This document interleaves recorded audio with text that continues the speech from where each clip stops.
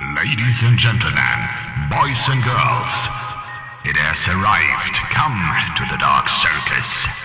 The circus where clowns never smile. Your darkest nightmares will come to life. You'll have an everlasting experience of horror, fear, and evil. Step inside and understand the spooks gone insanely frightening.